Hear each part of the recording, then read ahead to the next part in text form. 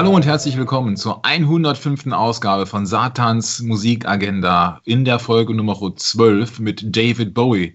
Der Mann, der wirklich sehr viel hergibt, kann man nicht anders sagen. Und dieses versuchen wir hier im Lichte der Bibel mal zu beleuchten, welche ganzen Dinge da jetzt in dem Bezug auf David Bowie und Umgebung auf uns losgelassen worden sind, um uns zu verführen, um uns letzten Endes vom rechten Weg abzubringen, was eine sehr gute Reminiszenz jetzt ist an den Film Lost Highway vom Regisseur David Lynch, der im Jahre 1997 dann eben dieses Stück von David Bowie namens I'm Deranged, ich bin geistesgestört, da verwendet hat als Titelmusik und deswegen ist das Ding auch hier eine absolute Erwähnung wert. Und ich denke, das sieht mein Bruder in Christus, der Jörg, genauso. Moin, moin. Ja, moin, moin, Bruder. Ich lerne immer, lerne immer viel Dinge bei bei diesen Sendungen, weil du Lieder besprichst, Filme besprichst, Serien besprichst, die ich zwar oftmals vom Namen gehört habe, aber niemals gesehen habe. Ich möchte mal eben kurz zurückgehen auf die Sendung hier vor. Da hattest du Hugo Egon Balder erwähnt, wo ich ja sagte, der Name Balder im Englischen, Balder, hat nichts zu tun mit Glatze, sondern hat damit zu tun, dass es von Baal abkommt. Und wenn man dann weiß, was der für Sendungen gemacht hat, ist das ja auch gar nicht mal so weit hergeholt. Dem seine Tutti Frutti Sendung habe ich nie gesehen, weil der Titel schien mir so blöd in der Zeit, ich gesagt habe, verschwende ich meine Zeit nicht dran. Wenn ich dann nackte Frauen sehen wollte, habe ich mir damals einen Playboy gekauft oder sowas. Also habe ich nie gesehen und habe ich heute das erste Mal gehört, wo es ein bisschen, wo es ein bisschen drum ging eigentlich. Und das finde ich immer sehr interessant. Solche Dinge, wie man immer oftmals an, in seinem Leben nur am Rande wahrgenommen hat, werden auf einmal in die Mitte gerückt und von dir beleuchtet in einem Licht, wie man es nie vorher gesehen hat. Und das ist natürlich schon mal ganz interessant. Tutti Frutti, diese Sendung von Hugo Eberbalda war jetzt Nummer ein, äh, ein Punkt, aber der Film, ähm, den wir da gerade eben besprochen hatten, von David Lynch, ähm, Lost Highway ist ja auch sowas. Da habe ich noch nie von gehört, habe ich mir auch noch nie Gedanken darüber gemacht und von daher sehr interessant. Ja, deswegen möchte ich auch gar nicht irgendwie groß viel Zeit verschwenden, sondern möchte sagen, mach bitte weiter mit deiner satanischen Media-Agenda, um sie zu entblättern, um den Leuten aufzuzeigen, wo was die Lüge eigentlich wirklich ist, dass sie umso leichter die Wahrheit finden, die nur im Wort Gottes zu finden ist, nämlich in der Bibel. Und zwar vorzugsweise in der englischen König James Bibel von 1611. Bitte, Bruder. David Lynch hat, wie gesagt, diesen Film gemacht, Lost Highway, der verlorene Highway. Und das ist natürlich eine Geschichte, die wir jetzt schon letztens ein bisschen angerissen haben, durch einmal den Titelsong und zum zweiten eben durch dieses Schicksal von dem Protagonisten Robert Blake, der eben da so eine teuflische Figur sozusagen gespielt hat in diesem Film Lost Highway. Und deswegen kommen wir jetzt mal wirklich zu dem wirklichen Film von Lost Highway.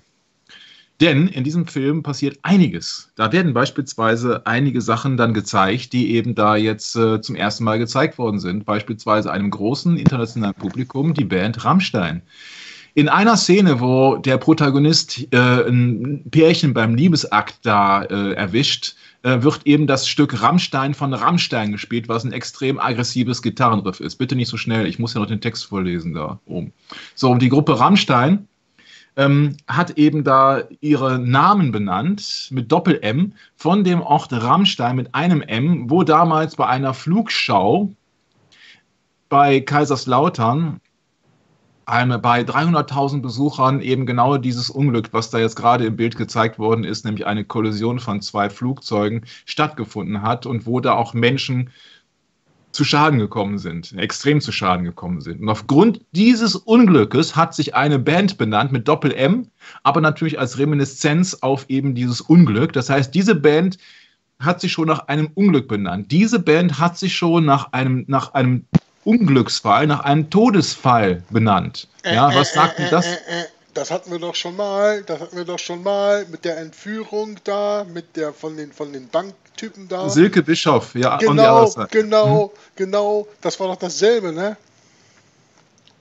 Ja, sehr gute, sehr gute, sehr gute äh, Zusammenarbeit gerade hier, wunderbar. Ja, das äh, perfekt. Ja, ja. Aber das ist so halt, ne? Wenn man, wenn man dann da schon sieht, dass die Reminiszenz dieser Band eben ein Unglück ist, ein Todesfall, äh, dann kann man ja eigentlich auch schon sagen, Moment mal, also stoppe, stopp, stopp, stopp, stopp. Also was ist das denn jetzt für eine Geschichte, wenn man aus einem solchen Unfall jetzt auch noch Kapital schlägt, im wahrsten Sinne des Wortes, weil ähm, Rammstein ist deswegen so bekannt, weil die Band natürlich keine Anfangsschwierigkeiten hatten. Die Leute wussten, aha, Rammstein, Rammstein, ja, das klingt so wie der Unglücksfall. Ne? Zwar mit zwei M wie Rammen, dann auch nochmal zusätzlich eine Verschärfung mein, meiner Meinung nach.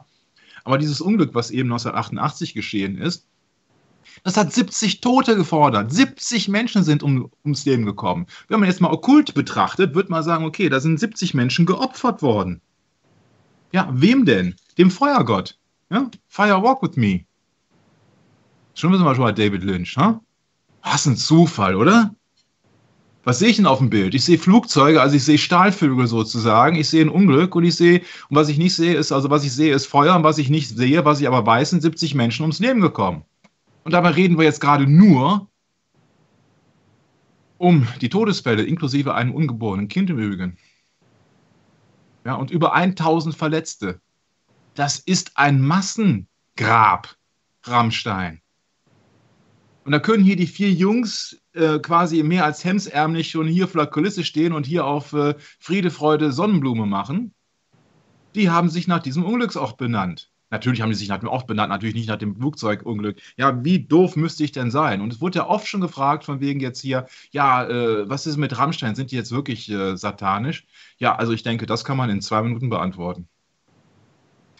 Und zwar mit dem Einmal mit dem Lied, was bei Lost Highway, ich meine, wenn ich schon ein Lied habe, was bei einem Todesfall inszeniert worden ist und was bei David Lynch Lost Highway, wo es um wiederum einen Mord geht, dann handelt, dann sollte ich davon wissen, dass der Regisseur sicherlich weiß, wovon die Band da redet, oder? Also, Rammstein, ein Mensch brennt, Fleischgeruch liegt in der Luft, ein Kind stirbt. Ja, das ist wirklich so. Da ist ein ungeborenes Kind gestorben bei Rammstein. Mit einem M bei dem Unglück. Ein Flammenmeer, Blut gerinnt auf den Asphalt, Mütter schreien. So. Entschuldigung bitte, aber äh, da muss ich doch die Band nicht mehr behandeln, oder doch? Muss ich nicht, ne? Massengrab. Kein Entrinnen, kein Vogel singt mehr. Rammstein, die Sonne scheint. Herzlichen Glückwunsch. So, so viel zu Rammstein. Wenn das jetzt immer noch nicht reicht, dann gehen wir in das Lied. Da, damit ist, das ist ein, eine Opferung, ne? Ein Massengrab, entrinnen, Blut grinnt auf dem Asphalt, Mütter schreien, Kind stirbt, Fleischgeruch liegt in der Luft. Da kriege ich, da, da überschlägt sich meine Stimme, Entschuldigung, da kriege ich die, da kriege ich die, die, die, da kriege ich die Kotze. Entschuldigung, da muss ich doch nicht über Rammstein über, überlegen im Sinnen und denke, ja, sind die satanisch, sind die dieses? Da gucke ich mir ein Lied an und weiß doch Bescheid. Ich meine, das ist ein deutscher Text. Da brauche ich ja nichts zu übersetzen. Da gibt es keinen Interpretationsspielraum. Wenn die sagen, guck mal hier, Fleischgeruch liegt in der Luft, ein Kind stirbt. Jemand von euch Eltern? Nächstes Lied, Spiel mit mir. Wir teilen Zimmer und das Bett. Kommt jetzt nicht vor bei Lost Highway, ist nur ein Beispiel von mir, ja. Brüderlein, komm und sei so nett. Brüderlein, komm, fass mich an, rutsch ganz dicht an mich heran. Vor dem Bett ein schwarzes Loch und hineinfällt jedes Schaf. So, größer konnte ich es nicht schreiben. So, Fan von Rammstein, herzlichen Glückwunsch. Sie sind Fan einer Band, die Pädophilie verherrlicht. Nein, die singen natürlich nur darüber. Das sind ja Künstler, die dürfen alles. Ich bin mal gespannt, wie weit denn noch die künstlerische Freiheit geht in diesen und anderen Ländern. Irgendwann gibt es dann mal echte Geschichten auf der Bühne, wo dann irgendwelche Sachen dann äh, geopfert werden. Mal gucken, wie es dann aussieht. Wahrscheinlich, wenn es die Katze des Nachbarn ist, wird noch keiner was sagen. Man legt die Hemmschwelle immer weiter nach oben, bis die Leute sagen, ja gut, das ist halt ein Konzert, wenn du da hingehst, bist du selber schuld. Ne?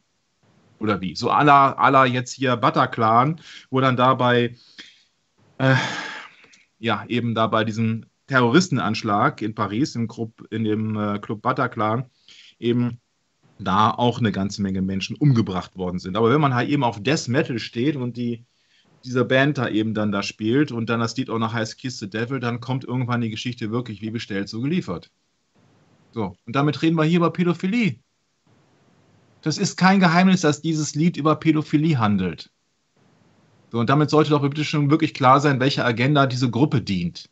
Ne, abgesehen davon, dass sie natürlich nur sich selber dienen. Also äh, Egoisten sind, ganz klar. Ja, aber wenn man solche ganzen Dinge dann in so einem Text verpackt und damit Geld verdient, ja, man ist ja nicht so, als wenn die da jetzt einen Artikel rausgebracht hätten und da Stellung gegen beziehen, sondern die spielen damit. Das finden die lustig. Das finden die, auf jeden Fall ist es, in jedem Fall ist es einträglich.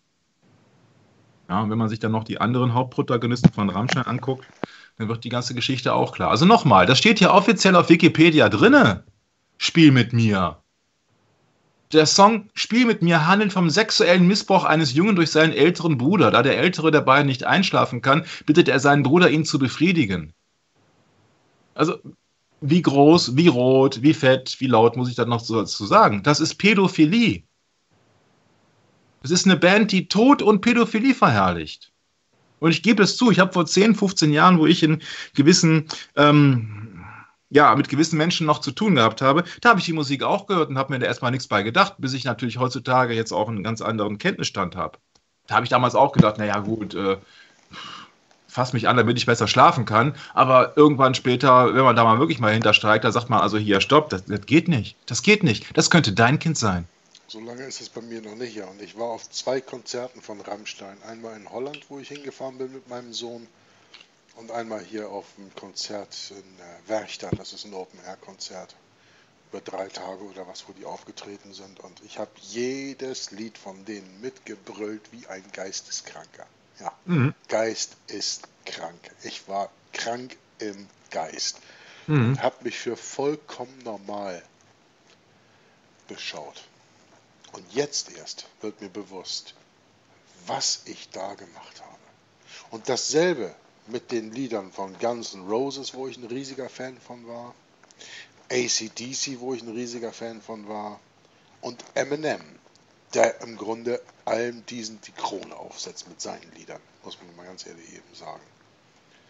Kim und Slim Shady und nicht alles, wenn man dahinter guckt, was das für Texte sind, da fällt einem eigentlich nichts mehr zu ein.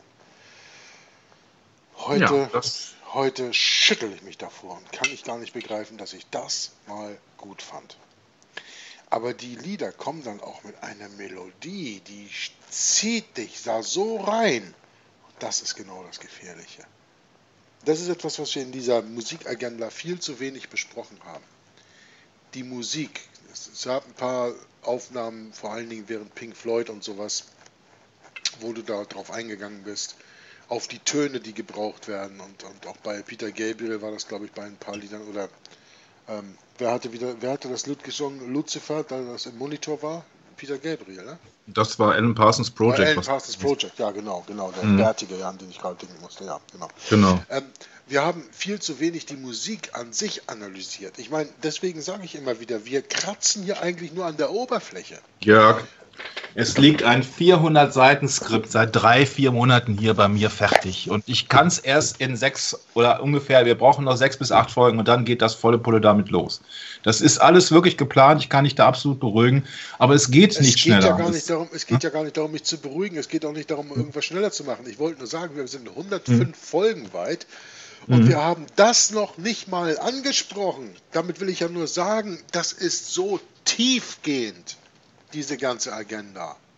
Dass man das, und selbst wenn wir das noch besprechen, dann gibt es noch andere Level, an die wir auch noch nicht rangekommen sind. Und an die wir auch oftmals gar nicht rangehen können. Aus bestimmten Gründen. Mhm. Alleine wenn wir jetzt hier sagen, das Lied Spiel mit mir handelt von Pädophilie. Wenn du das im Rammstein-Fan sagst, dann kriegst du auf die Fresse. Und zwar ganz gepflegt. Weil der das nicht akzeptiert.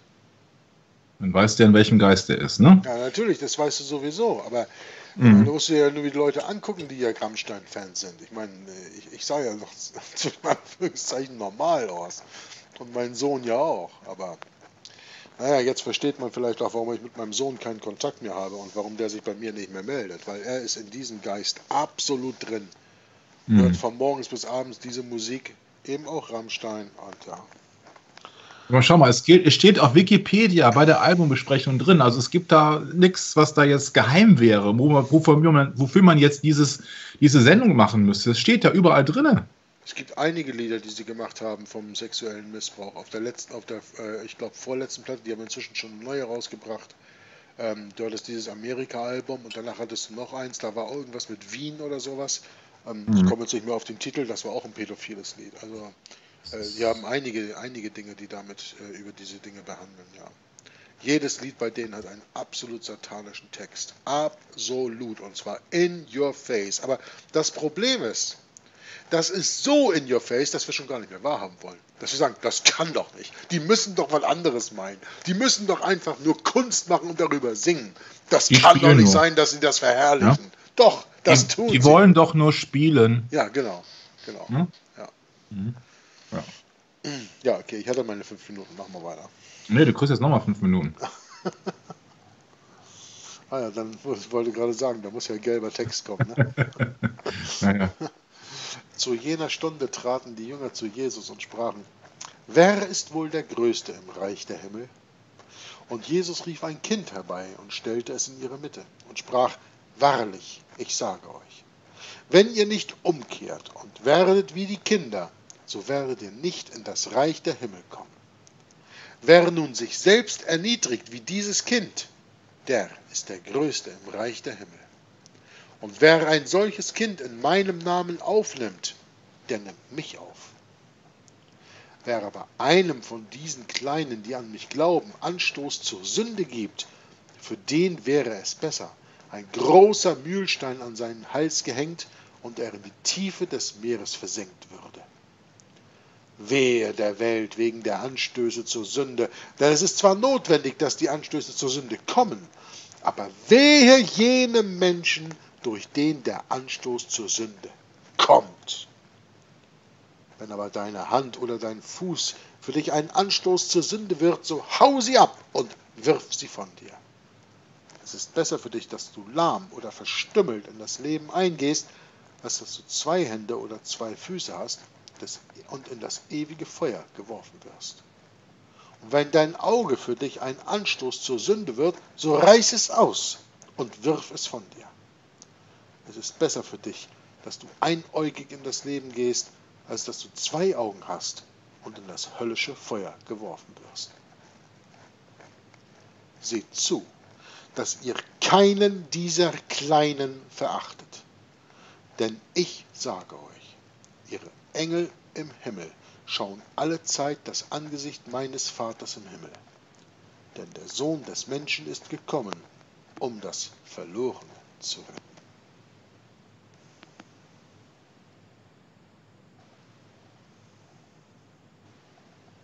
Ja, vielen Dank, Jörg. Das war echt nötig. Also bei solchen Sachen, die wirklich in Deutsch auch noch so klar sind, wie klar soll man die Sendung noch machen? Und wie gesagt, diese Band wird verherrlicht von David Lynch, also promotet von David Lynch in dem Film, Ram, äh, in dem Film Lost Highway, wo Rammstein Rammstein singen und damit auch dieses Blutbad besingen. Und dieser Film handelt um Mord, ganz klar.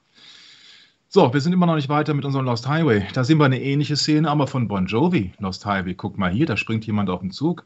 Also nicht auf den Zug, aufs Auto eigentlich. Ne? So, selbe Szene am Tag. Ja, Lost Highway. Was sehe ich da hinten? Ich sehe nichts. Ich sehe eigentlich nur einen Himmel. Ne? Ich sehe einfach nichts da und äh, fahre da jetzt und sehe da noch eine Sonnenbrille und sehe keine Menschen. Sehe dieses Auto und sehe eben diese Schnellstraße. Gut, gucke ich mir an. Was ist denn das? Also Lost Highway ist eine Geschichte von Bon Jovi.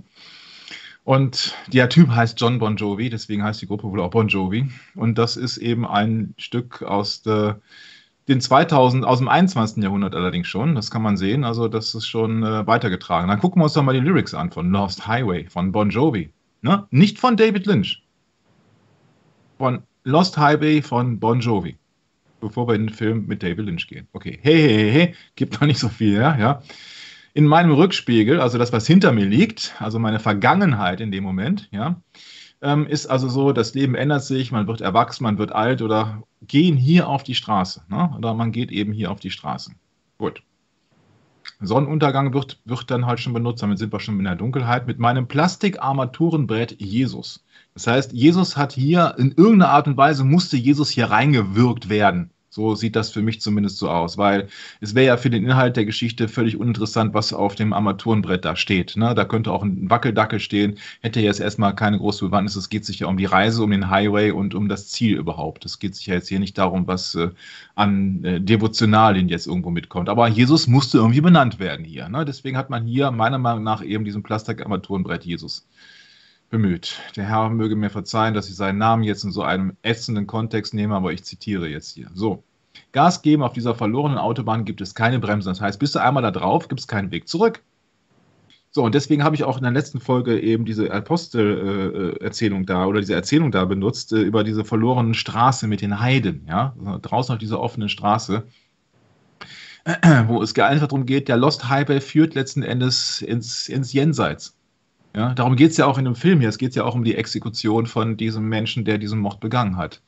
Geht sich ja um den ganzen Film, geht sich ja einmal aus dem Mord. Damit geht der eine Mensch, geht schon mal, der ermordet wird, geht eben von der physischen Existenz, die verschwindet komplett und der geht dann letzten Endes dann in die, ja, in die nicht physische Existenz, wollte ich schon sagen. Auf jeden Fall verschwindet diese Existenz hier, genau wie jemand, der auf einem Highway fährt und der irgendwann nicht mehr zu sehen ist, weil er am Horizont verschwindet, sozusagen. Machen wir mal weiter. Also das gibt ja noch nicht so viel her. Ich wollte halt nur die Reminiszenz sehen. Guck mal hier, guck mal da.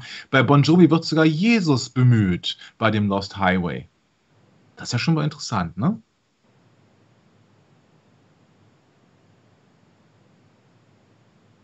Schutzpatron der einsamen Seelen. Aha.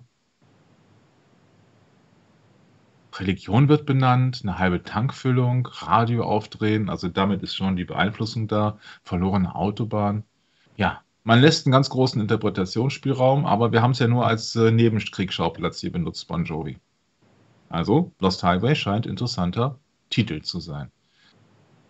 Naja, das ist jetzt nochmal dieselbe Geschichte, aber das ist jetzt eben das, was eben jetzt hier bei einbenannt wird bei diesem Film Lost Highway. Als der Saxophonist, um den geht's, Fred Madison vor seinem Haus ein Video findet, auf dem Außenaufnahmen seines Anwesens zu sehen sind, fühlt er sich bedroht. Nach und nach tauchen immer mehr Videos auf, die von Mal zu Mal länger sind und ihr Geschehen plötzlich auch das Innere des Hauses verlagern. Im letzten Video sieht Fred plötzlich seine blutüberströmte Frau Renee im Bett liegen. Der Song hm, Lied zu den Sirenen, das sind diejenigen, die die Bootsleute verführt haben, man erinnere sich an Odysseus, ja, ist dreimal in diesem Film zu hören.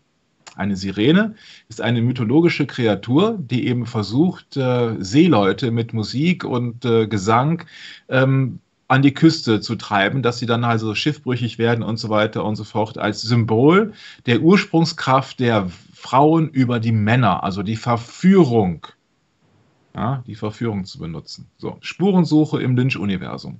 Der Mystery Man. Jetzt geht es nämlich genau los über diese Geschichte, die wir da letztes Mal benannt haben, über diesen Protagonisten, der eben da so eine Art äh, Mephisto spielt mit dem Mystery Man.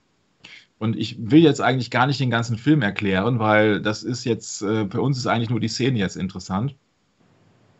Ja, es geht nämlich jetzt, wenn man 100 Sachen hat, dann hat man 102 verschiedene Möglichkeiten der Interpretation. Es wird aber hier benannt, guck mal da, ja, Unterstützung bekommt er von einem mysteriösen Mann, der mit seinem bleichen Gesicht an die Figur des Mephisto in Goethes Faust erinnert. Guck mal, da hat jemand dieselbe Reminiszenz wie ich oder wie auch. Doch ein Pakt mit dem Teufel geht selten gut aus, selten ist hier grün gestrichen.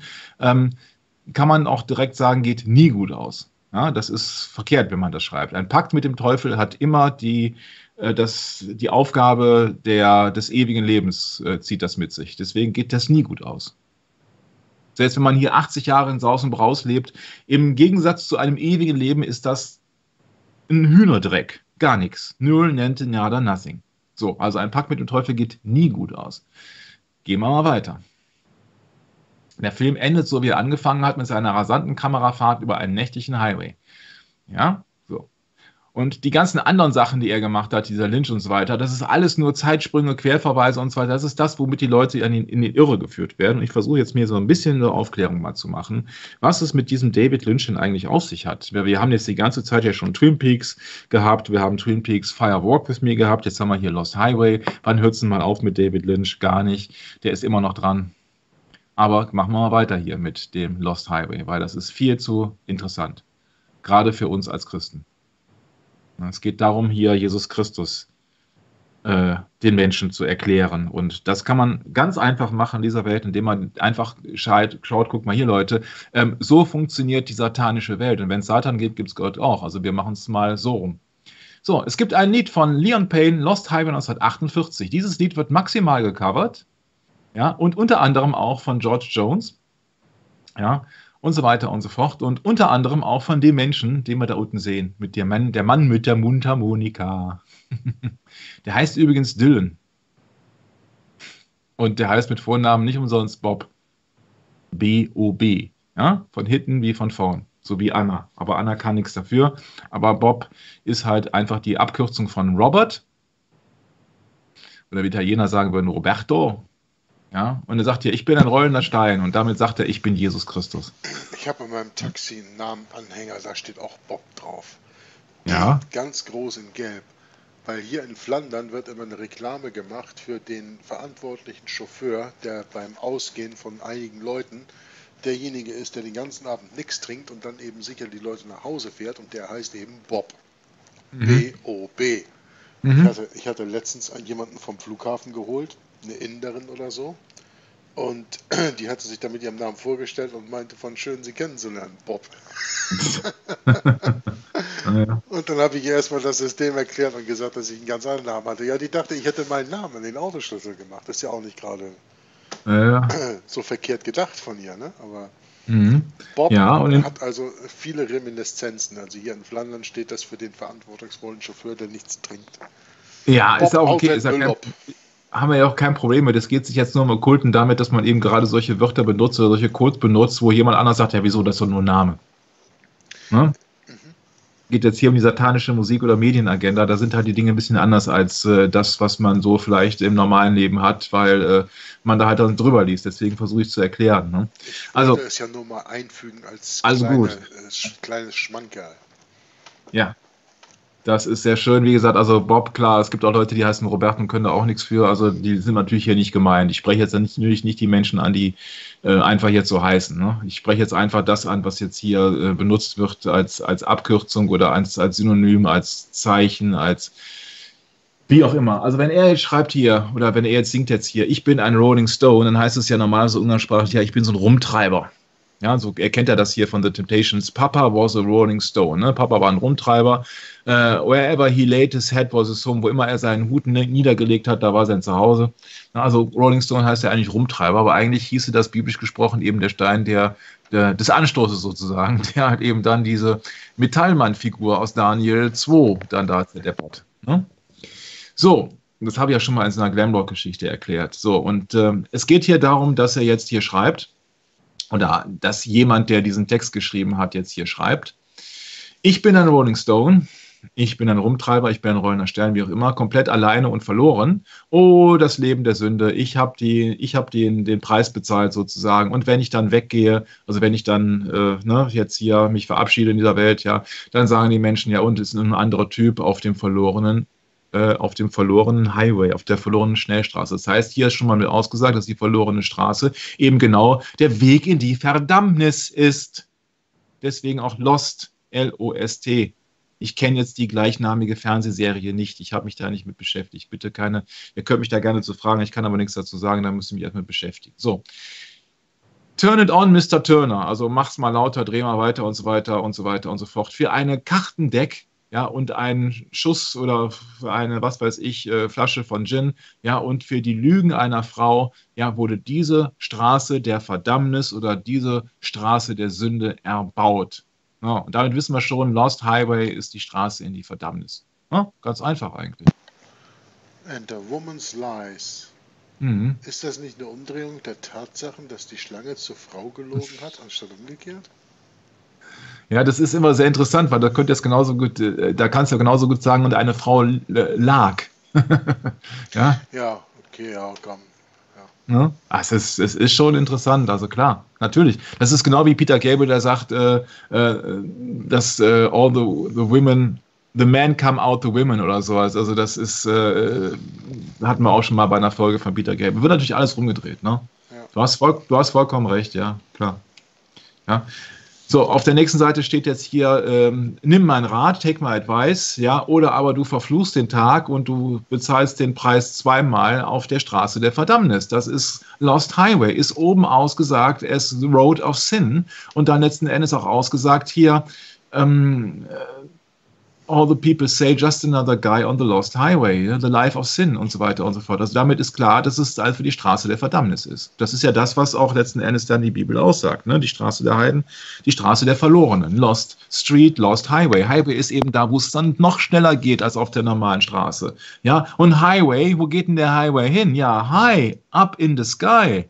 Also, ne? Jesaja 14,12, aber mal die andere Richtung sozusagen. Also nicht von unten nach oben nach unten, sondern von unten nach oben. Ne? So, gehen wir weiter im Text mit Lost Highway. Bis zum nächsten Bild. Das ist nämlich mein schön gebautes Video, wo ich dann gesagt habe, ja, jetzt habe ich das perfekt getimt mit den ganzen Untertiteln und so weiter und so fort. Und dann kann ich es nicht zeigen. Ganz klasse. So. David Bowie kommt hier rein mit einem wahnsinnigen Bass, mit einem extrem aggressiven Staccato von Gitarre, Leadgitarre, ja, mit einem extrem harten metallischen Klang, das aus, sich, so anhört wie eine Kreissäge. Ja, also wie eine Kreissäge, die quasi hier dieses P von Pullman von oben nach unten zerdeppert. Das ist ein perfekt für, dieses, für diesen Film choreografiertes Lied. Perfekt, kann ich nur sagen. Ja, ich kann es euch leider nicht vorspielen, ihr könnt es euch aber auf YouTube anhören. David Bowie, I'm Deranged. So, was passiert denn da jetzt?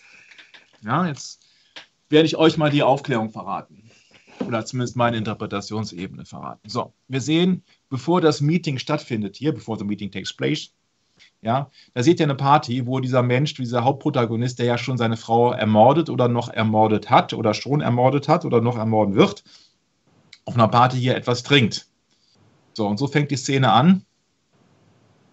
Und das sieht jetzt erstmal völlig unverdächtig aus. In der nächsten Szene seht ihr dann, dass da jemand die Szene betritt sozusagen. Und das bedeutet jetzt folgendermaßen, meiner Meinung nach, der David Lynch wird uns erzählen, ja, das ist ein Zeitsprung, der Typ, der träumt das, das ist seine Vorstellungskraft, das ist seine Vorstellungswelt, das, da ist er schon im Gefängnis und das träumt er alles. Ich habe eine ganz andere Meinung dazu. Die Meinung ist, warum fängt diese Szene mit dem Trinken von Alkohol an? Und warum ist diese Szene in Schwarz-Weiß? Entweder sind sie alle schwarz gekleidet und die Wände sind weiß, der Pullman selber ist mehr oder weniger weiß gekleidet und der Fußboden ist ein Schachbrettfußboden, wie man da unten links sehen kann.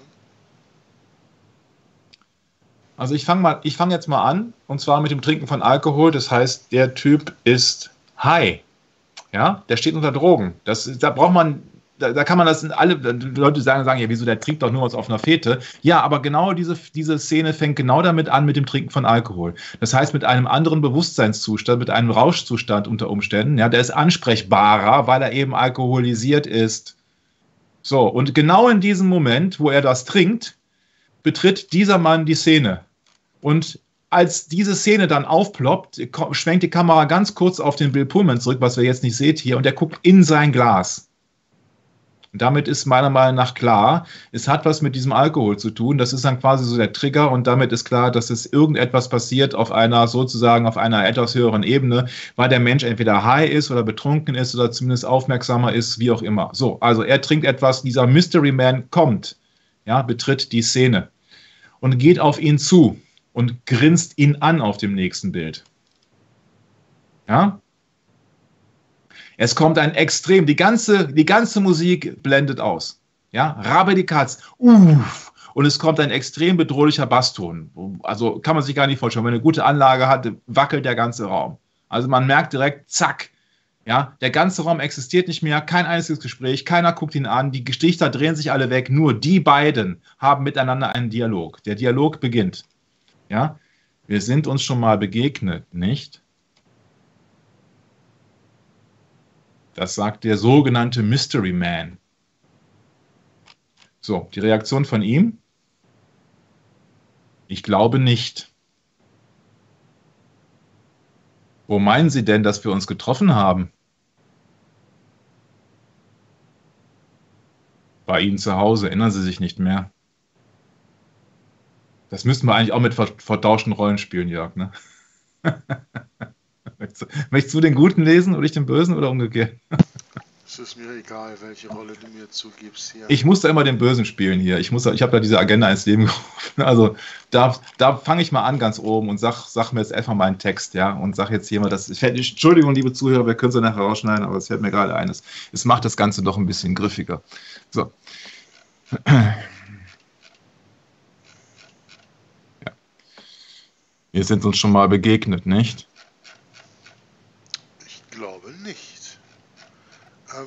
Wo meinen Sie denn, dass wir uns getroffen haben? Bei Ihnen zu Hause. Erinnern Sie sich nicht mehr? Natürlich. Ich oh, glaube glaub... nicht. Das natürlich wäre eigentlich deins gewesen, ne? Ja. Natürlich. Ich glaube nicht. Shit. Wir sind keine guten Schauspieler, wir sind Christen. wir können das nicht. Wo meinen Sie denn, dass wir uns getroffen haben? Das fragt er schon wieder. Das war schon zum zweiten Mal. Ja. Okay, ja, das ist falsch, falsch kopiert hier. Ähm, tatsächlich bin ich gerade dort. Was meinen Sie mit gerade dort? Bei Ihnen zu Hause. Das ist völlig verrückt. Ruf mich an. Wähle deine Nummer. So, da seht ihr jetzt, der Bill Pullman, der wählt jetzt diese Nummer, ja, und er hat eine komische Tätowierung auf der Hand.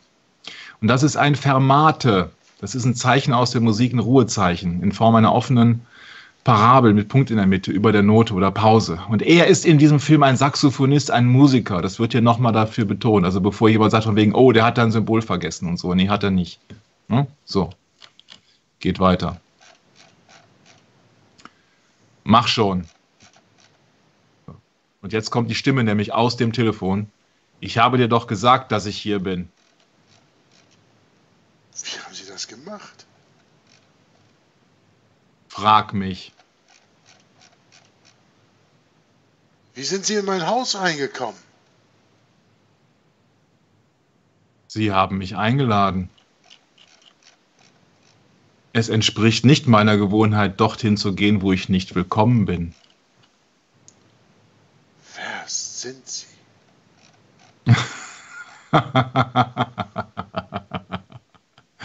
Geben Sie mir mein Telefon zurück. Es war ein Vergnügen, mit Ihnen zu reden. So, und wo er jetzt lacht, da hört er die Stimme aus dem Telefon zeitverzögert gleich, also fast gleichzeitig. Das heißt, er ist gleichzeitig mit ihm am Reden und der Typ ist gleichzeitig am Telefon. Wie kann das sein?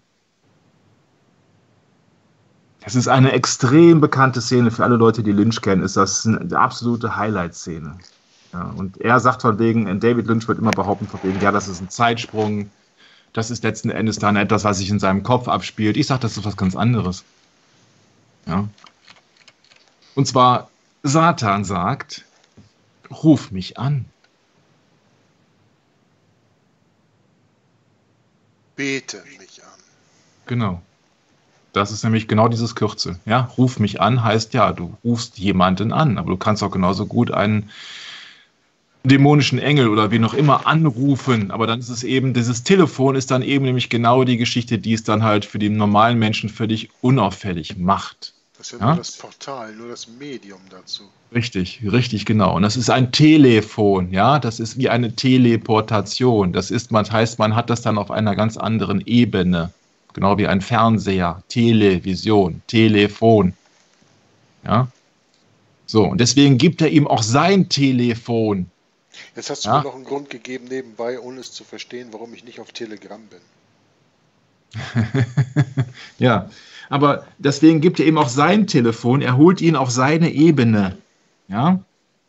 Das ist die Geschichte dazu. Er holt ihn auf seine Ebene und er sagt, ruf mich an. Jemand, der sich nicht mit, mit, mit, mit der Bibel auskennt und mit Dämonen auskennt, versteht diese Szene nicht. Ja? Tele heißt fern. T-E-L-E heißt fern. Ja? In der Ferne, fern, weit weg. Ja? Und deswegen ist eben Telefon dieses Medium, ja. Und Telefon heißt, Tele heißt fern und Phon heißt eben Stimme, Sprache, also die Sprache aus der Ferne. Ah, deswegen Sprache, hieß das doch früher Fernsprecher. Genau, genau, ja, ja. Das hat schon seinen Grund. Genau. So, und er ist jetzt gleichzeitig in seinem Haus. Was heißt das? Ja, für mich heißt das was ganz anderes. Für mich heißt das, dieser Typ ist in seinem Kopf. Er lässt sich ja, guck mal, in dem Moment, wo der Bill Pullman sein Telefon greift, lässt er sich schon auf den Handel ein. Er könnte ja von vornherein sagen, du bist ein Spinner, mit dir will ich nichts zu tun haben. Aber er ist ja neugierig. Er geht darauf ein, was der andere ihm anbietet. Und der andere behauptet, ich bin gerade schon da, ich bin gerade in deinem Haus drin und so und so weiter. Und komm hier, ruf mich an. Ja, und gibt ihm das Telefon. In dem Moment, wo der andere das Telefon greift, ist der Deal gemacht. Es ist genau wie bei Phil Collins in The Air Tonight, wenn Phil Collins die Klinke runterdrückt und das Licht reinströmt in eine offene Tür. Der Deal ist perfekt. Ja. Es mag für den einen oder anderen, der die Serie nicht gewohnt ist, vielleicht ein bisschen überinterpretiert sein, aber im Endeffekt ist es dann so, ähm, es ist ganz klar, er ist hier der Mystery Man. Der ist nicht der Mystery Man. Er ist Satan. Er ist zumindest ein, ein Diener Satans. Drücken wir es mal so aus, ja? So. Und vor allen Dingen sagt er hier noch etwas. Ähm, er ist in seinem Haus drin, er ist quasi in seinem Kopf hin. Er hört ihn ja in seinem Ohr, ja? Wenn er sein deinem Telefon mit, mit dem Telefon des Teufels zu tun hat, mit der fernen Stimme des, er hat die ferne Stimme Satans in seinem Kopf drin. Das wird damit ausgesagt, dass er das Telefon von diesem Satans-Darsteller am Ohr hat. Das heißt, er hat die Stimme Satans im Kopf. Das ist damit ausgesagt, meiner Meinung nach. Ist ja gar nicht so, gar nicht so weit her hergeholt. So, Oder auch, und, dass man sagen könnte, dass der Geist von Satan bei ihm reingeht. Ja. Und er fragt jetzt ganz erstaunt, ja, wie sind Sie denn in mein Haus reingekommen? Also wie sind Sie denn in meine Privatsphäre reingekommen? Ja, Sie haben mich doch eingeladen. Genau. Sie haben doch mein Telefon genommen. Ja, nicht nur das, er, er setzt ja noch einen drauf. Ja? Er sagt ja auch noch, es entspricht nicht meiner Gewohnheit, dorthin zu gehen, wo ich nicht willkommen bin. Soll man das mal, in, in, soll man das mal auf der Bibel übersetzen? Dann heißt das, es entspricht nicht meiner Fähigkeit, zu einem Christen zu gehen. Ich kann nur dahin gehen, wo ich willkommen bin, wo ich eingeladen werde. Ja. Wo man mich mit offenen Armen und offenen Fenstern und offenem Geist empfängt. Genau. Deswegen ist das eine absolute Schlüsselszene, die ich unheimlich gerne zeigen würde, was ich nicht darf. Aber ihr könnt euch diesen Film oder diese Szene immer noch im Internet anhören, allerdings dann nur in Englisch. Ich wollte gerade sagen, du hast es doch in der englischen Ding, habe ich das doch gesehen, ne? Ja. Es entspricht nicht Nummer, meiner Gewohnheit. 5, diese, doch. Lange, diese lange Sendung von dir? Nee, nee, das ist Phil Collins, das hat damit jetzt nichts zu tun. Nee, nee, aber das ist jetzt hier Lost Highway und das ist eben die Geschichte mit dem sogenannten Mystery Man, der natürlich überhaupt nicht mysteriös ist, weil er klar ist, wer er ist. Ja, nur das mit die, die, die Szene mit dem Telefon und mit dem Eingeladen verstehen die Menschen nicht, die die Bibel nicht lesen. Ja, und auch die nicht im Okkulten sind. Und deswegen ähm, kann ich das, würde ich das so auflösen, dass ich sage, wenn er schon sagt, es entspricht nicht meiner Gewohnheit, dorthin zu gehen, wo ich nicht willkommen bin, ja, dann stellen wir den Satz einfach um. Und dann heißt der Satz nämlich, es entspricht meiner Gewohnheit, ja, ich bin gewohnt, dorthin zu gehen, wo ich willkommen bin. So, und damit sagt er dem anderen, du, pass mal auf, ich bin bei dir reingegangen, in dein Haus, in deine Privatsphäre und du hast meine Stimme im Kopf, weil ich bei dir willkommen bin, weil du ein Mörder bist. Johannes 8,44, Jörg. Steht jetzt hier nicht drin, aber ist doch klar, ja? Mhm. Ein Menschenmörder von Anfang an und der Vater der Lüge. Und er sagt jetzt hier zu ihm, der Teufel sagt zu einem Menschen, einem Mörder, der entweder morden will oder schon gemordet hat, das spielt jetzt hier nicht die Rolle. Ja, es entspricht meiner Gewohnheit. Ich bin gewohnt, dorthin zu gehen, wo ich willkommen bin. Ja, dazu hat, Jesus, dazu hat, Jesus, doch gesagt, dass man bereits ein Mörder ist, wenn man in, in Gedanken seinen Bruder ähm, umbringt. Glaube ich. So in der Richtung. Ja, oder man halt schon, schon Unzucht betreibt, wenn man nur eine Frau anguckt. Ne? Ja, also das, genau, in, dem, in demselben genau. Sinne. Also ich muss im Grunde mhm. daran denken, dass ich jemand anderes tue, dann bin ich im Grunde in meinem Herzen schon ein Mörder. Mhm. Und in dieser Szene oder davor oder was wird dieser Hauptdarsteller, dieser Bill Pullman oder so, wahrscheinlich die Gedanken ja, genau. gemacht haben, eben seine Frau umzubringen. Damit hat er im Grunde den Satan eingeladen. Ja. Genau. Und deswegen, deswegen hört er ihn noch gleichzeitig im Kopf und er kann mit, er kann mit jemand anderem sprechen, der auch von ihm besessen ist, zum Beispiel. Ne? So, ganz einfach. Hm. So, der, das Thema ist, diese Geschichte mit dem Telefon ist halt einfach nur, er hat die Stimme von Datan im Kopf. Das ist das Ding. Ja, und Telefon ist halt einfach die Stimme von weit weg. Und das, guck mal, ich habe extra eine Sendung gemacht über Fritz Lang, die Folge Nummer 9, die wahrscheinlich, wenn das hier rauskommt, hoffentlich schon veröffentlicht ist, wo es darum geht, dass Fritz Lang und Thea von Harbu vor dem Film M, der sich auf die wahren Begebenheiten von den Kindermördern Fritz Hamann äh, bezieht, ja, äh, mit Menschen gesprochen haben, die massig, mannigfaltig Kinder umgebracht haben und die davon berichtet haben, sie haben Stimmen gehört im Kopf. Und die meisten Menschen denken, ja, das ist Psychopharmaka, das sind Verrückte, das sind Geistesgestörte. Ja, aber warum sind die denn verrückt und geistesgestört? Weil die eben mit dieser, von dieser Seite massiv beeinflusst oder besetzt sind. Das ist der Punkt. Und da drehen sich alle Filme von David drum, oder zumindest die meisten. Ja, Twin Peaks handelt über Bob. Bob ist ein Geist. Ist ein Geisteswesen. Alles, was sich in der Black Lodge abspielt, ist die Geisterwelt. Es ist eigentlich sowas von simpel. Wenn man es einmal verstanden hat, dass es Geister gibt, dass es Satan gibt. Wenn man versteht Lynch überhaupt nicht, wenn man nicht auf dieser Ebene ist mit Dämonen, Geistern und äh, diese ganzen Geschichten, dann versteht man das nicht. Dann denkt man, ja, das ist ein Zeitsprung, das ist ein physikalisches Phänomen, das kann man nicht erklären. Doch das kann man alles erklären und David Lynch weiß ganz genau, was er da tut. Und viele andere wissen das auch, aber diejenigen, die halt einfach jetzt äh, gewohnt sind, sich äh, berieseln zu lassen oder sich unterhalten zu lassen, sich unten halten zu lassen, die, die, die verstehen das nicht und die sagen, das ist alles Spinnerei. Aber das ist alles Kalkül, dass man eben dann mit den ganzen Sachen spielt und letzten Endes lachen die sich hinter den Kulissen kaputt. Und deswegen Lost Highway ist ein Film, den muss man nicht unbedingt sehen, weil er sehr blutrünstig ist und weil er sehr verworren ist. Aber es sind eben einige Dinge, die an diesem Lost Highway passieren, beispielsweise das Feuer rückwärts brennt bei einem Haus. Ja, das habe ich jetzt hier nicht drin. Das ist in dem Skript leider nicht mehr drin, nicht, nicht mehr drin, weil das Skript hat eh schon fast 600 Seiten.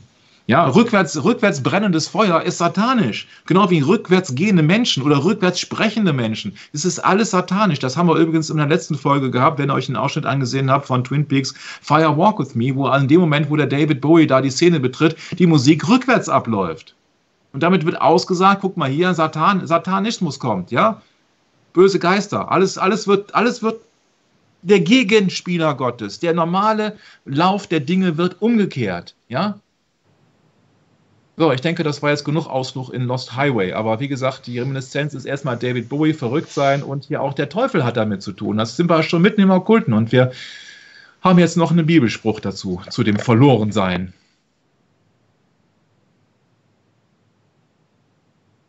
Der wäre eigentlich für dich gedacht.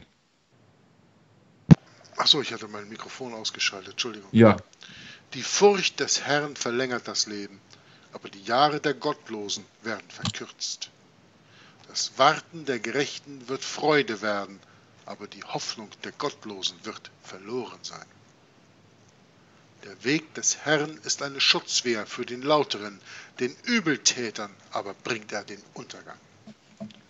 Der Gerechte wird in Ewigkeit nicht wanken, aber die Gottlosen bleiben nicht im Land.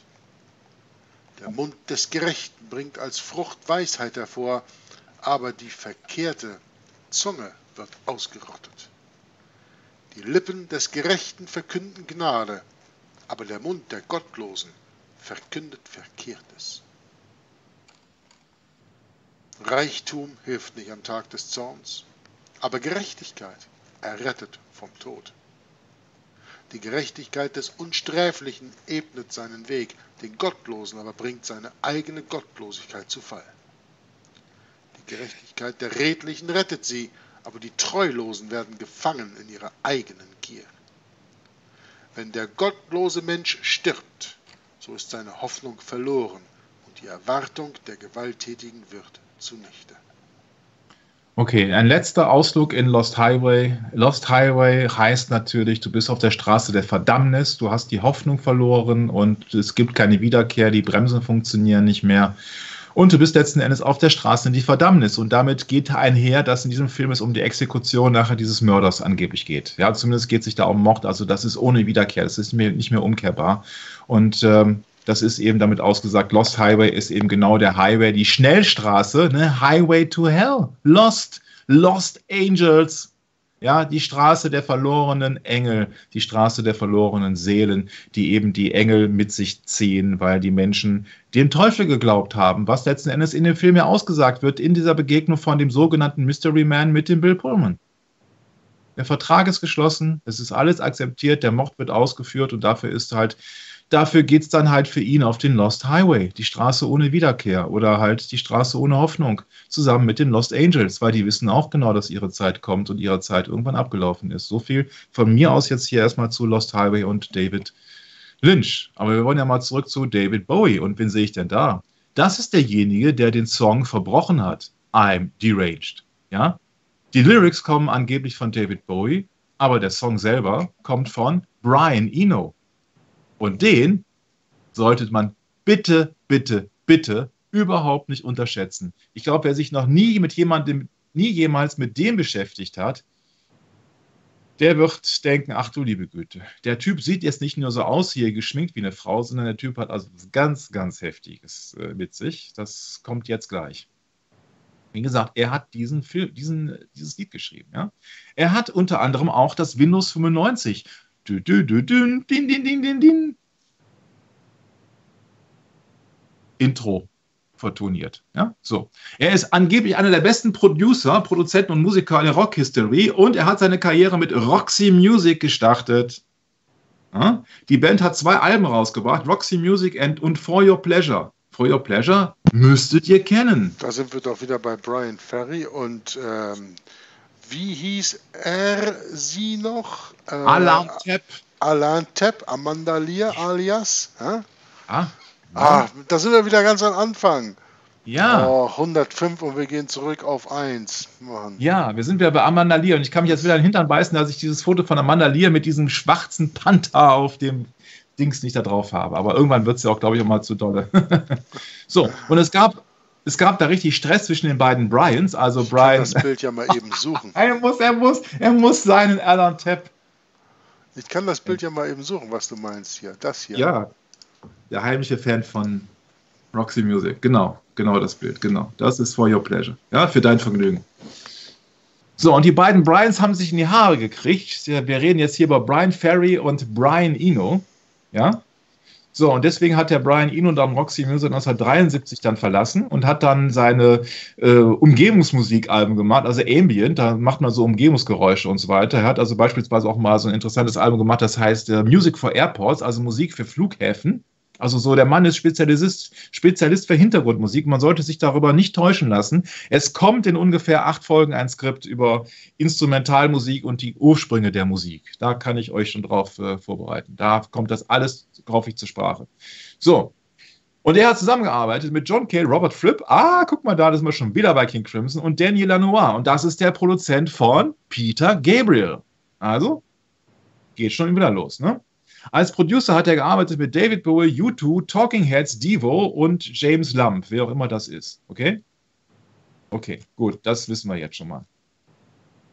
Aber, und jetzt kommt aber, er hat gesagt, ja, er hat gesagt, äh, er hat das, äh, den, den Start abgemacht für äh, Windows 95, interessanterweise auf einem Apple-Computer komponiert. Ja, das ist ganz lustig, aber ist, das war das Einzige, was wirklich lustig ist. Sein Bruder ist also auch noch Musiker und Komposer.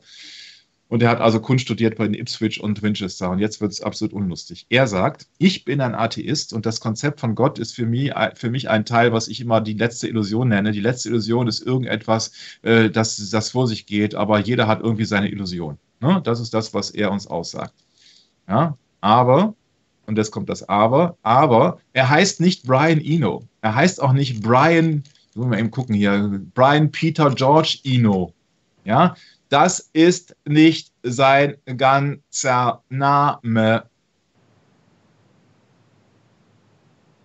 Vielleicht schockiert euch das Bild auf der nächsten Seite, zumindest von der Symbolik her. Was ist denn das? I'm deranged? Ich bin gespalten? Die göttliche Stimmgabel oder was? So, und das ist sein ganzer Name. Brian Peter George St. John Le Baptiste de la Salle Ino. Jetzt müsste bei Jörg alle Alarmglocken ringen. 1948 geboren, britischer Musiker, Musikproduzent, Musiktheoretiker und bildender Künstler. Er gilt als Innovator im Bereich der Musik. Aber wieso kommt er auf den Namen St. John le Baptiste de la Salle? Ich meine, Baptiste ist Täufer, klar. Ne? St. Ja, John, ja, John, John le Baptiste, ist John, der Johannes, Johannes der, Täufer, ist der, der ja. Wegbereiter für Jesus Christus. Aber de la Salle würde dann ja heißen der Schmutzige. Ja, dann guck mal, wer de la Salle ist.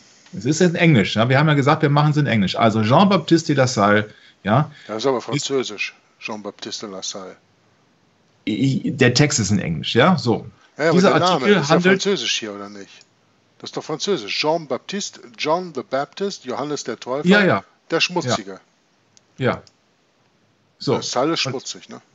Ja, so, und dieser Artikel geht über den französischen Bruder der La Salle-Universität, wo, wo, die La Salle-Universität nach benannt ist. Ja, es gibt noch einen französischen äh, äh, Abenteurer, Entdecker und so weiter, der auch René Robert de La Salle heißt. Aber guck mal auf dem nächsten Bild, ne? Saint-Jean-Baptiste de La Salle von den de La Salle Brothers, der Gründer des Institutes der Brüder der christlichen Schulen.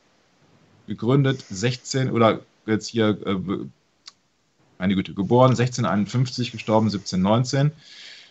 Ja, verehrt in der römisch-katholischen Kirche. Was ist denn das FSC de la Salle Brothers? Ja, wie gesagt, er trägt das im Namen. Ne?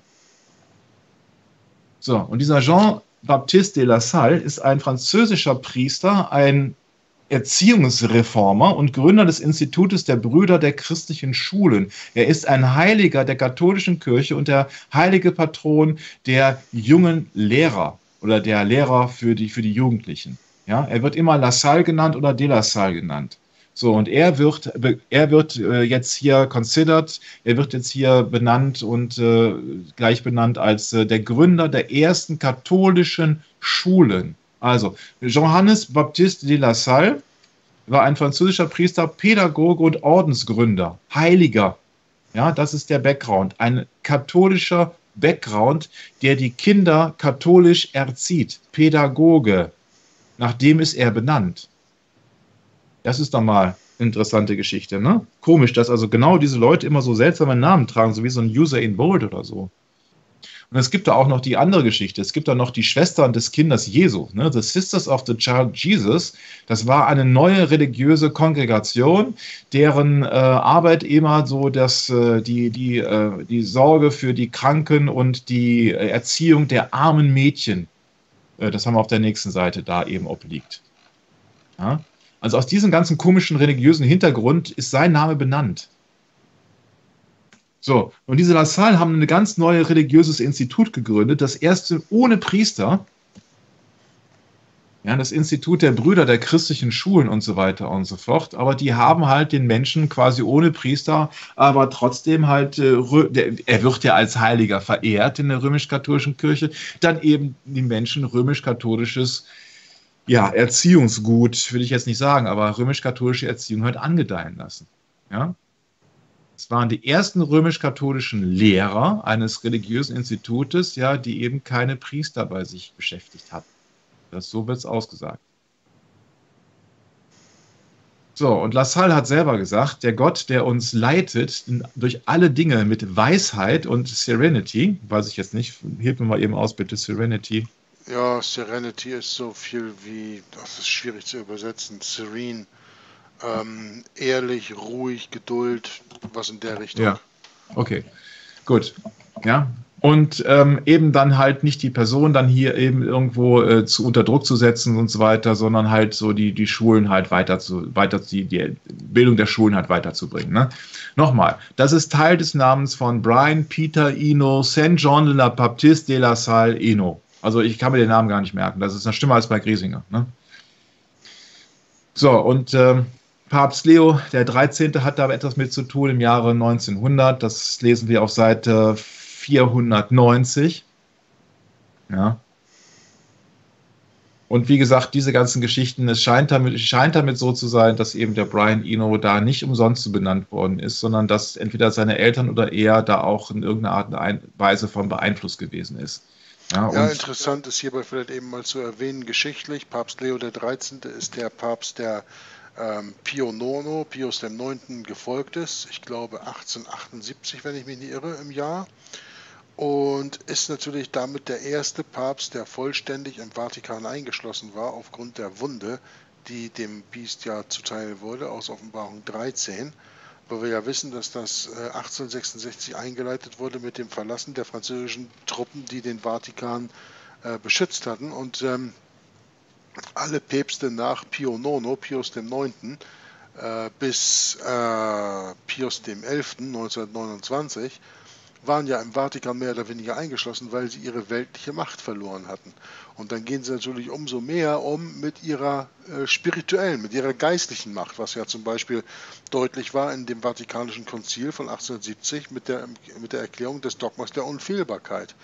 Und auch hier die Kanonisierung, also die Heiligsprechung dieses äh, Menschen unter anderem, ist sicher auch ein Resultat dieser sich vollständig auf die geistige Kraft äh, oder geistige Macht konzentrieren des, äh, des Antichristen in dieser Zeit. Nur mal eben so nebenbei eingeworfen.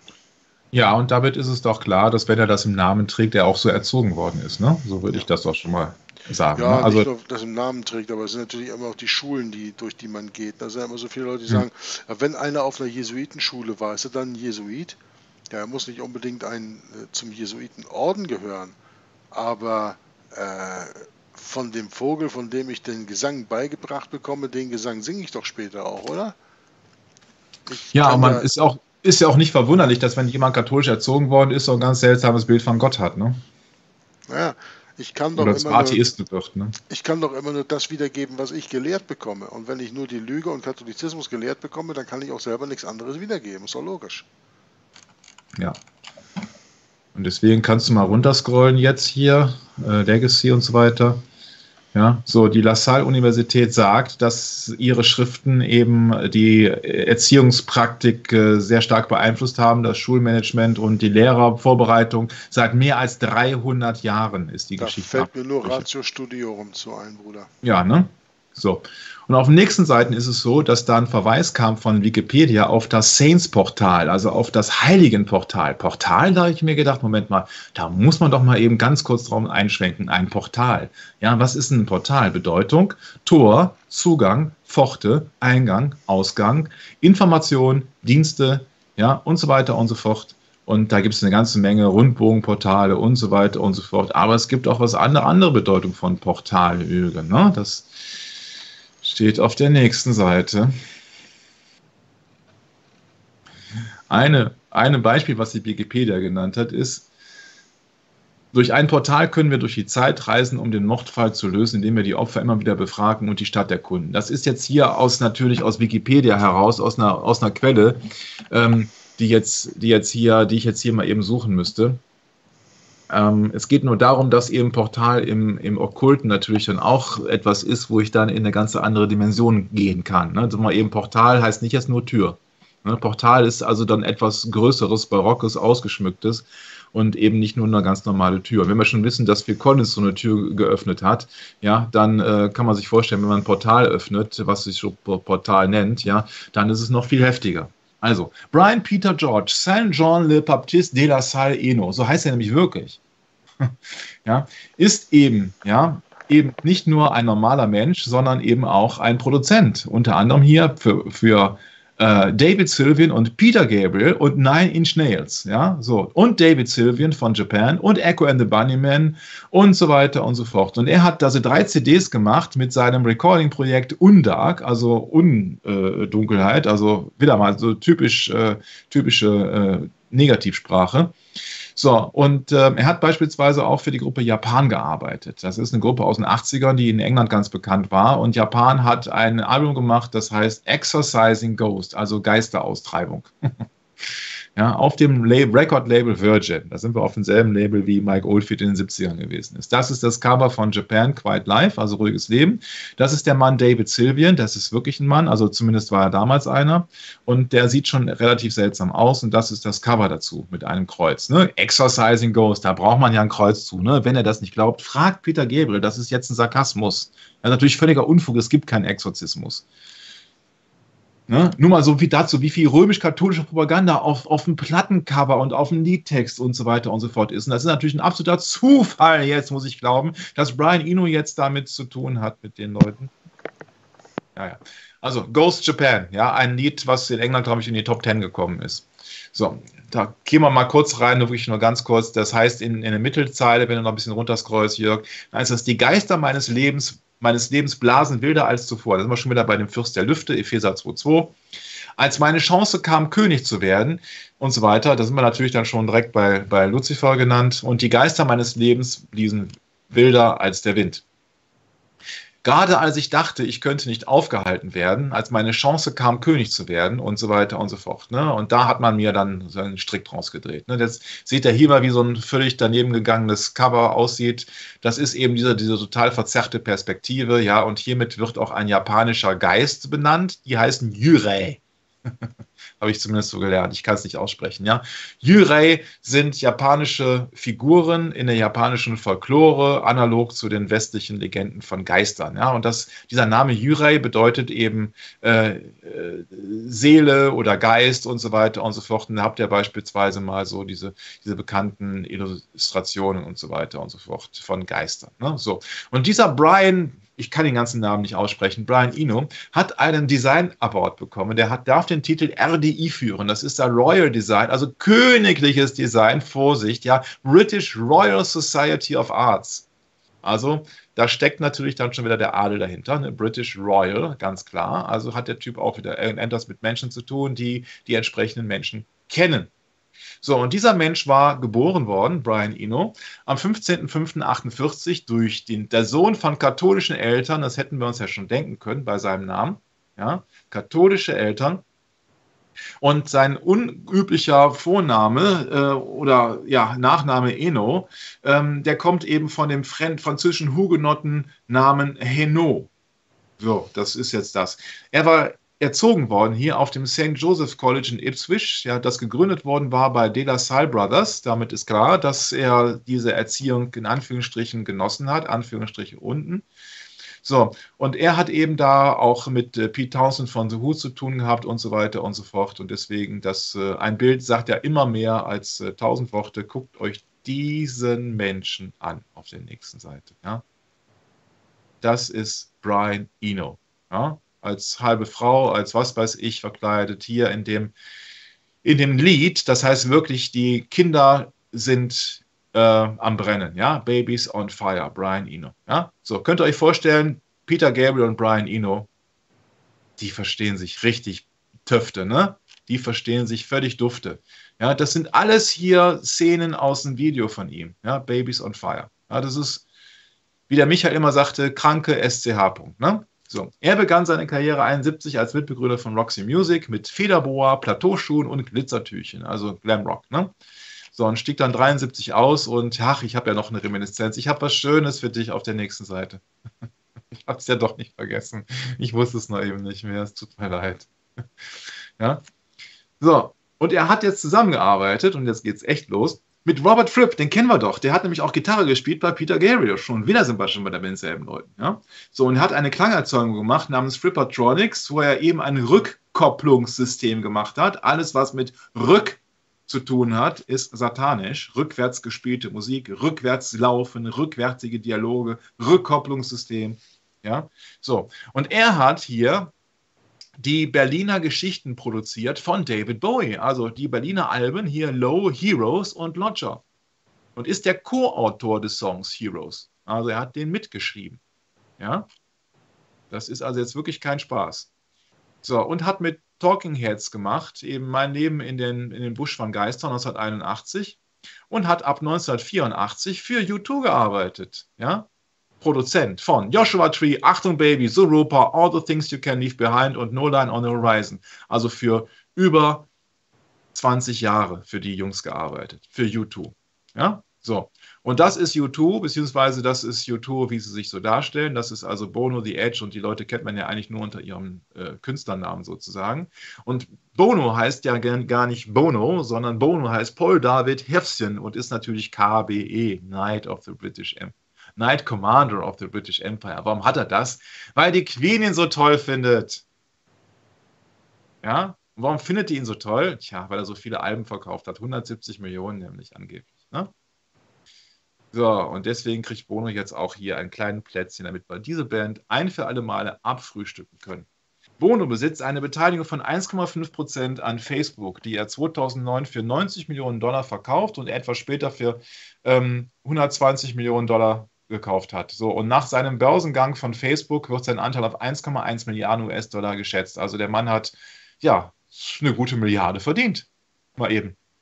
Ja, durch entsprechende Kontakte natürlich, weil du kannst ja nicht einfach mal so eben äh, wissen, wann, wo, was. Also der Mann muss gute Berater haben. Und er wird auch genannt, er hat gute Berater, in den Paradise Papers genannt. Also ein weit verzeigtes Firmengeflecht von Briefkastenfirmen und so weiter und so fort. Also er bezahlt jetzt ungerne Steuern, er möchte immer alles für sich haben. Ne? So sie fünfmal ich will. Ne? Ich will mehr Geld, ich will mehr Frauen, ich will mehr Autos, ich will mehr Urlaub, ich will mehr von allem, so ungefähr. Ne? Und deswegen hat er auch seinen Best Buddy, einer seiner Best Buddy auf dem nächsten Film, auf dem nächsten Bild, Entschuldigung, ist George W. Ja? So. Da ist ja auch, der hat ja dann auch wieder so eine kleine Reminiszenz an hier My Life in the Bush of Ghosts, ne, den er dann produziert hat. Das ist auch ein, ein, etwas im Busch. Und er führt es dann fort mit Bono und dem US-Präsidenten Barack Obama. Also dieser Mensch ist also hier extremst, extremst, extremst unterwegs in dieser Welt. Und deswegen ist er einer dieser absoluten Hafenspieler und Sänger und Flötenspieler und Trompeter dieser Welt. In der Offenbarung 18,21. Und ein starker Engel hob einen Stein auf wie ein großer Mühlstein und warf ihn ins Meer und sprach, so wird Babylon, die große Stadt, mit Wucht hingeschleudert und nicht mehr gefunden werden. Und der Klang der Harfenspieler und Sänger und Flötenspieler und Trompeter wird nicht mehr in dir gehört werden. Und kein Künstler irgendeiner Kunst wird mehr in dir gefunden werden. Und der Klang der Mühle soll nicht mehr in dir gehört werden. Das Licht des Leuchters wird nicht mehr in dir scheinen und die Stimme des Bräutigams und der Braut nicht mehr in dir gehört werden. Denn deine Kaufleute waren die Großen der Erde, denn durch deine Zauberei wurden alle Völker verführt. Und in ihr wurde das Blut der Propheten und Heiligen gefunden und aller derer, die hingeschlachtet worden sind auf Erden. Dankeschön, Jörg. Und er hat diesen Auszeichnung bekommen, Night Commander of the British Empire. Er ist mit George W. Bush zusammen, er ist mit den ganzen Leuten zusammen. Und deswegen hat die Time Magazine getitelt, kann Bono die Welt retten? Und ich konnte nicht umhin, darauf eine Antwort zu geben. Auf dem nächsten Bild.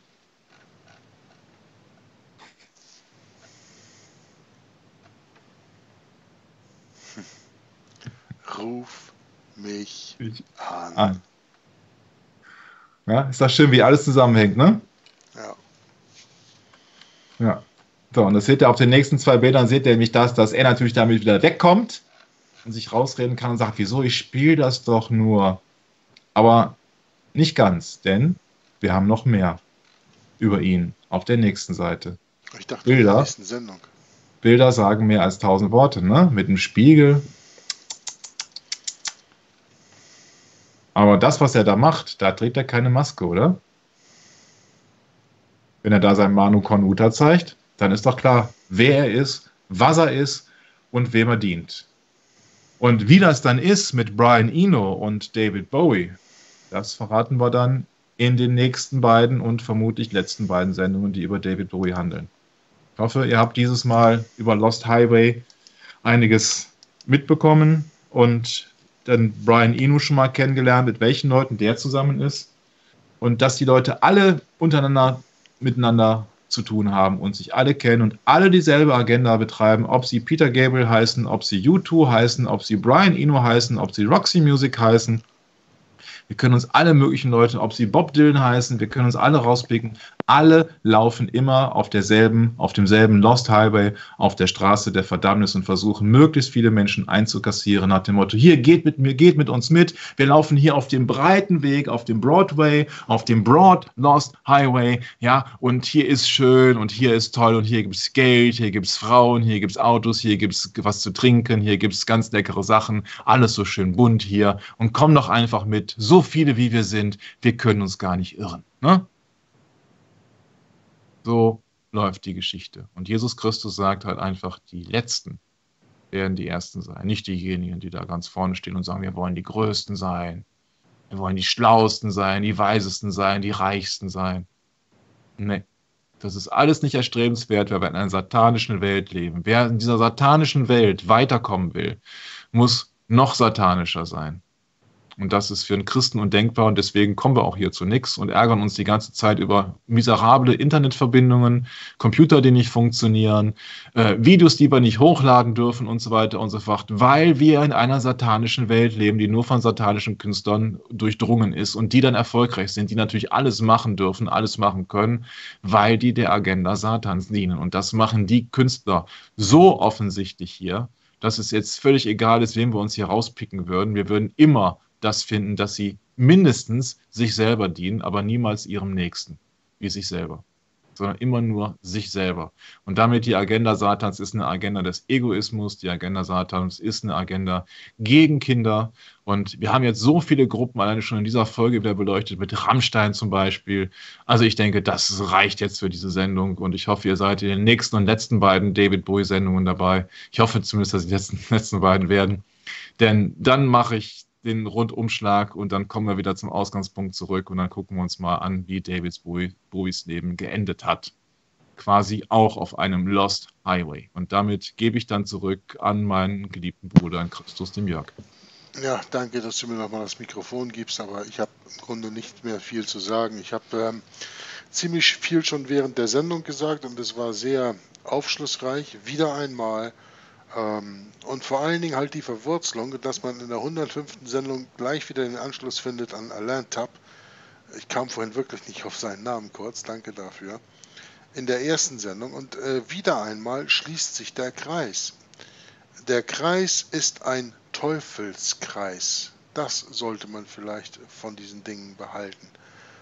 Es ist ein Kreis, aus dem man nicht rauskommt, wenn man da drin gefangen ist, wenn man sich erst einmal davon gefangen nehmen lässt.